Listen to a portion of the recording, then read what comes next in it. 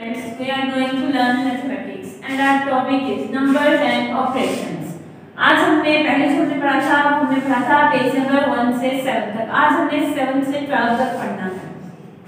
हमने पढ़ लिया था नंबर्स क्या होते हैं और ऑपरेशंस क्या होते हैं। फिर से रिकॉल करते जाओ नंबर्स हमारे पास zero one two three and so on and operations plus minus multiplication इस तरह से होती है, हमारे पास ऑपरेशंस होते हैं, जो हम नंबर्स पे अप्लाई करते हैं। अब हमने दे, आज हमने देखना है। हमने वन से लेकर सारा कुछ करते हैं उसमें प्लस करते हैं तो जो भी दो टर्म्स होती हैं उसमें चेंज आ जाता है। लेकिन आज अब हमें देखना है कि ज़ीरो को जब हम किसी भी नंबर में ऐड करेंगे तब हमारे पास क्या आंसर आता है? और जब हम ज़ीरो में से कुछ भी सब्ट्रैक्ट करेंगे फिर हमारे पास क्या आंसर आता है? जैसे ज़ीरो जो है हमारे पास एक स्पेशल नंबर है। क्योंकि जब भी हम ज़ीरो में कुछ भी ऐड करते हैं वो सेम का सेम रहता है। जैसे एग्जांपल है ये।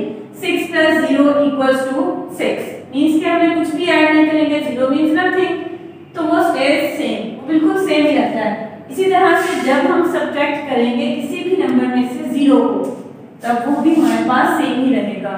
मीन्स के ज़ीरो पे हम कोई भी ऑपरेशन अप्लाई करें प्लस का या माइनस का तो वो उसमें कोई भी इफ़ेक्ट नहीं होता, वो सेम का सेम रहता है।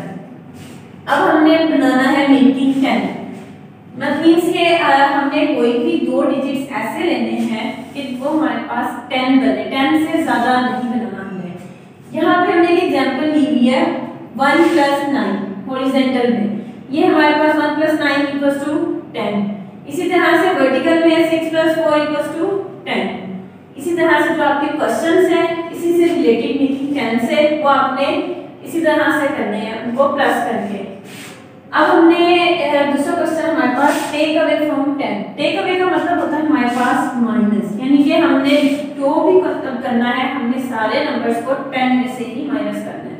कोई भी हमारे पास ऐसा नहीं होगा कि इलेवन माइनस टू या इलेवन माइनस सेवन इस तरह का कुछ भी नहीं होगा। अपने सारे टेन में से ही माइनस करने हैं। Ten minus two eight horizontal में एग्जांपल है, ये वर्टिकल में ten minus one equals to nine ये हमारे पास वर्टिकल में एग्जांपल नेक्स्ट है big and small big and small आपको पता है बिग मींस बड़ा स्मॉल मींस छोटा।